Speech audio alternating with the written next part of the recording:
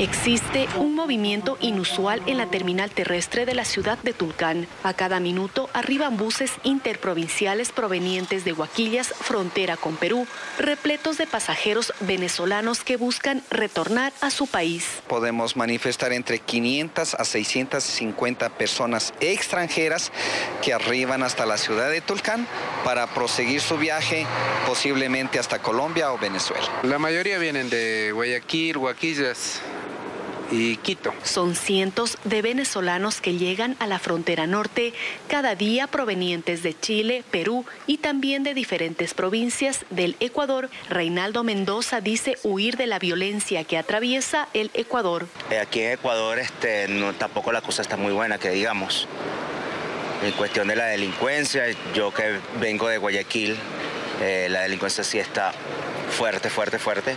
Los migrantes que lograron radicarse en países de Sudamérica retornarán y quienes no encontraron una oportunidad de trabajo regresarán a Venezuela. Regresar ya a mi país, ya no emigro. Muy duro, muy difícil. Se estima que en los próximos meses la afluencia de viajeros con destino a Venezuela se incremente de forma significativa debido a las festividades navideñas.